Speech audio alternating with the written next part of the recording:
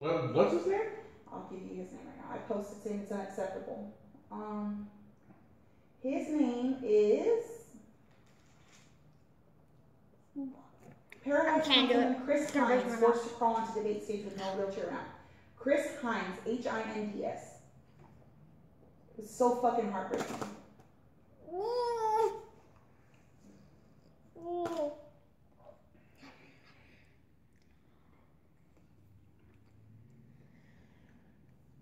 Oh my god. It's so heartbreaking. God.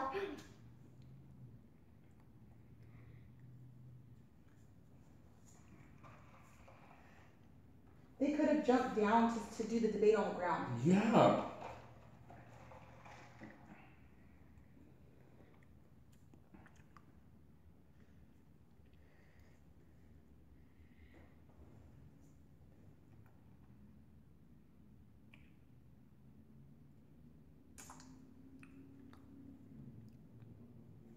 Bye.